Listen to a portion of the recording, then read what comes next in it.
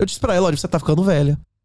Você, você trabalha o dia inteiro. Você, você vai arranjar homem aonde? Você não frequenta igreja, você não frequenta academia, você vai achar macho onde? Você não arranjou macho com 30, você vai arranjar com 40? Você vai arranjar um gigolô, um vagabundo que você não vai respeitar, não é isso? Não é melhor ter um filho do que não ter nada? Bastardo é melhor do que nada, não é isso ou não? Sim. Você já tomou um choque daqueles da, da, da pistolinha, do, da, da, da baixa. ah, você nunca tomou um choque de taser? Não. Aquilo não morre. Tipo assim, inclusive a polícia treina tomando 10 vezes, 10 choques daquele, não é isso? Credo.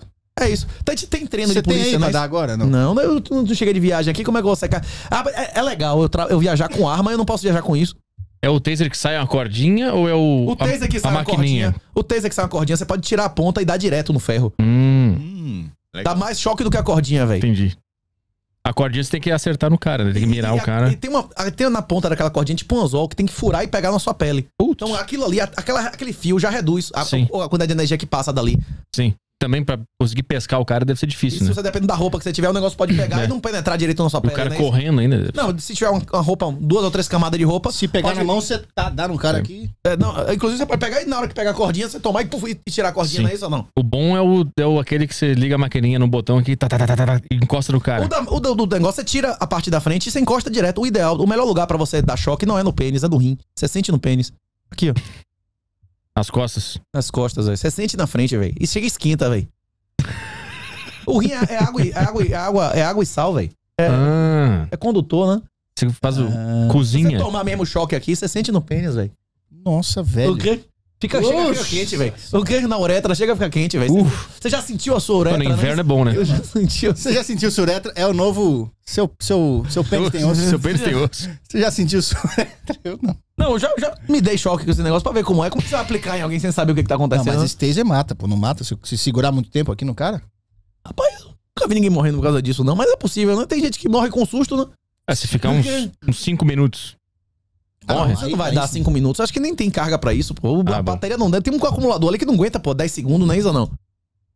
Certo. Você Você não bateu como- em muito vagabundo na vida? Ok.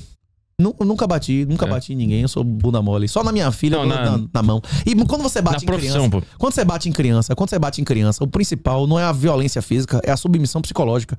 Se eu disser, bote a mão pra apanhar, se você tirar dois, ela que tá se punindo, não sou eu que tô punindo ela, não é isso? Exato. Não quer dizer, Tira a roupa. Tira a Como é roupa agora, é a mesma coisa que faz em cadeia. Se a criança tira a roupa, já diminuiu a metade da resistência dela, não é isso? Sim, Como o do vagabundo na cadeia, né? Ser pelado, você já não vai da testa gritar, querer chamar atenção, não é isso? certo. É isso. é, a, a punição, a punição normalmente ela é mais psicológica do que física, né?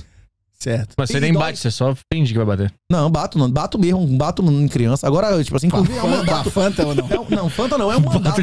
É um mandato divino. É na mão mesmo. Inclusive, minha filha chega lá e diz assim: "É, você não pode me bater, é crime. Eu digo, só por isso você vai apanhar mais uma vez. Porque você, você, você.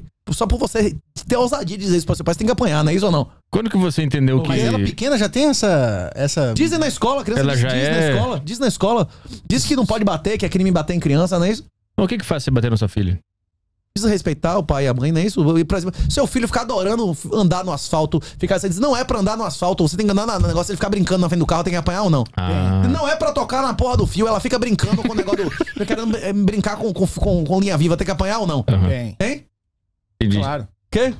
Claro. Internet até Mas que o que, que horas? a sua esposa acha disso? Ela, co- ela fica chateada? Não sei. eu- Interessa o que a mulher acha, rapaz? que mundo que você vive, rapaz? Não, Você, a mulher tem a obrigação de te amar? Obrigação de me amar? Obrigação Quem não. tem obrigação de te amar? Você tem a obrigação de amar a mulher, não é isso?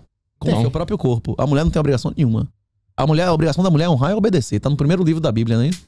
Que o Mas seu ela desejo- concorda com isso? Que o seu desejo será para o seu marido que a governará. Se a mulher não concordar com isso, não existe casamento Mas mulher. independente ela da- não reconhece o que é casamento. Mas é ela é. Mas independente da palavra Catholic. dela. Da- independente da palavra dela valer ou não, ela se mostra. O, o? Gênesis é igual a todos os cristãos, todos os muçulmanos e ela é? todos os judeus, não é isso? Ela é? É isso. Se a mulher não for, se a mulher não reconhecer essa parte do Gênesis, ela não precisa ser cristã nem católica. Ela só precisa reconhecer que o Gênesis é a palavra de Deus. Ela Se reconhece? ela não reconhecer, ela não, não, não existe casamento com ela. Você é amigo do sexo dela, não é isso? Ela reconhece?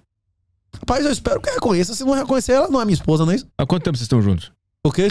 Quanto tempo vocês estão juntos? Mas peraí, você não é casado com a mãe da sua filha, ou é? Não, eu tive, É eu outra. tive um filho com a prima quando eu tive um diagnóstico de uma doença, eu fiz uma quimioterapia que a maioria ficava infértil em seis meses. Eu tive Peraí. uma doença autoimune. Calma aí. E aí, na época, meu irmão, aí eu tinha filho, eu teria filho em alta, não é isso ou não? Você não teria filho, não, se você dissesse, ó, bicho, daqui a seis meses você não Peraí, tem mais. peraí. Gala rala, não é isso? Você descobriu que tinha uma doença e começou a botar filho no mundo, é isso? Eu tive uma doença e o tratamento pra doença era a quimioterapia Era trepar. que, que, que esterilizava.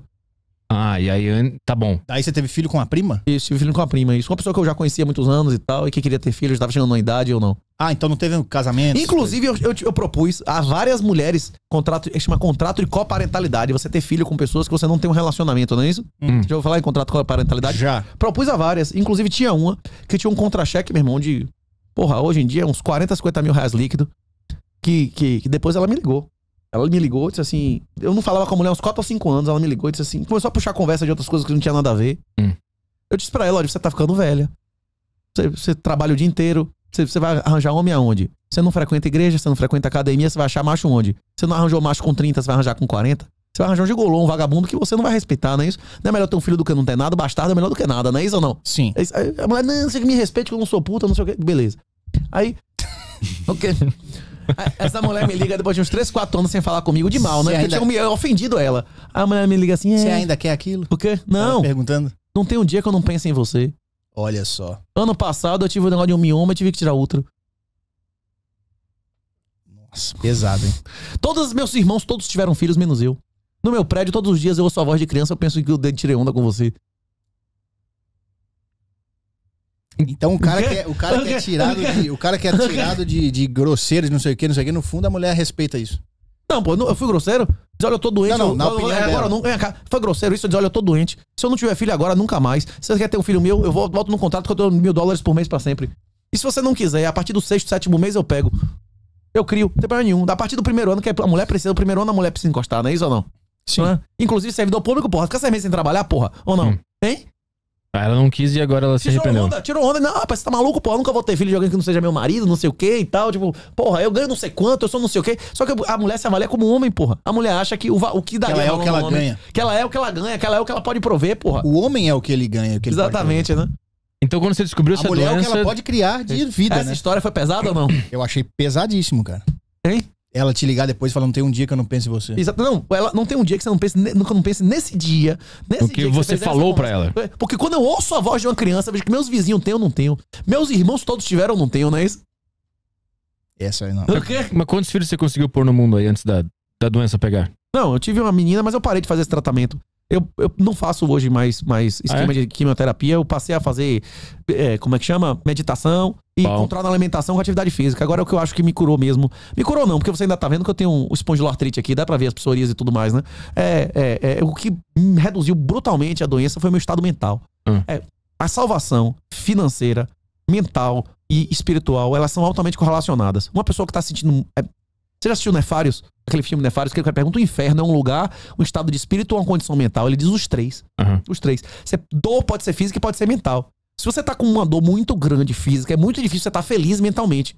Sim. Certo. Isso. Então, uma salvação em uma camada. Você saber, Impulsiona as outras. puta merda, você saber que nenhum vagabundo nunca vai me roubar, bicho. A minha riqueza nessa merda aí vai aumentar. Eu não, não sou escravo de ninguém. É Isso, tipo assim, pô, isso lhe dá uma força de você aceitar. Não, Deus me deu as ferramentas na hora exata que começou a experiência, que eu passei a existir nesse mundo. Bom. E se eu morrer, eu venci, não é isso? É isso. Morrer é lucro.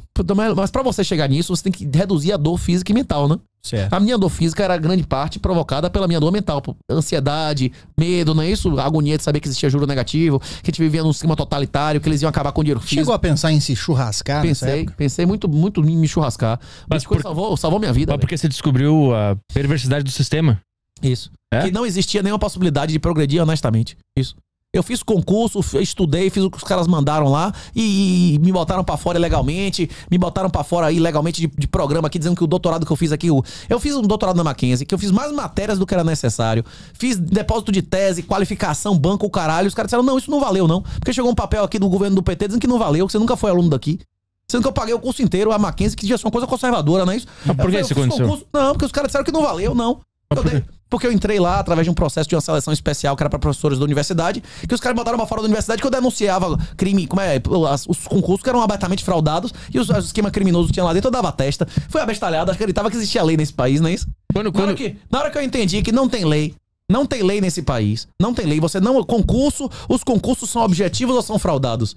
Os favores políticos, o negócio de financiamento de BNDES e tal, é pra qualquer um, é pros amigos. Na hora que você, na hora que você entender que a, a- a aplicação da lei é exceção, que vale a pena ser vagabundo ou trabalhador nesse país. Na hora que você vê, bicho, então nesse sistema, eu não quero ser vagabundo, então eu não vou operar nesse sistema, preciso operar em outro sistema. Até entender que existia um outro lugar onde vale a pena ser honesto e não vagabundo, eu achava que eu era escravo do satanás. Que qualquer coisa que eu fizesse, eu ia ter que, que, que, que subsidiar, eu ia, ter que, eu ia ter que pagar, eu ia ter que ser o escravo, eu ia ter que ter minha mão suja de sangue e merda, de castração de criança e aborto, não é isso? Sim. E ela gosta do STF. Hoje em dia, você não precisa financiar, como é o nome do cara lá do, do relógio de 5 milhões, o casaco. no- Quem tá financiando aquilo ali é o cara que tem ações e imóveis e, e- e empresa no Brasil. Por isso que eu Eu. não, boto dinheiro numa Pode, porra dessa. pode vender O quê? Quem é, vender quem é o cara que tem relógio? O no filho do desembargador lá, rapaz, que os caras filmaram, inclusive Ah, tá. proibiram a filme. Não teve isso, não. Não sei, não vi. Ele e os filhos estavam com 7 milhões entre roupas e, e acessórios. E o cara disse que não tem nem emprego, nunca foi concursado em porra nenhuma, que ele é. Qual ele- foi o- O quê? Qual foi o fato que abriu os teus olhos e você entendeu que esse sistema ele é todo Esse- fudido? Foi esse Entendeu o específico? juro negativo. Ó, primeiro entender que o concurso é fraude, que é tudo mentira. Eu tava lá, eu passei um concurso por uma.